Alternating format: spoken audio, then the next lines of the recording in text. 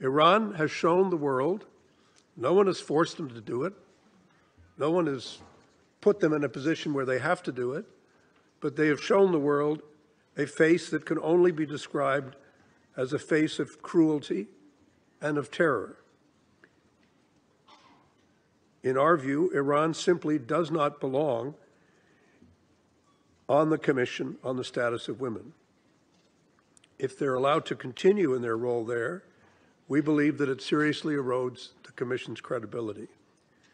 It's time for us to take action, and frankly, we're very happy that our American colleagues have moved this resolution.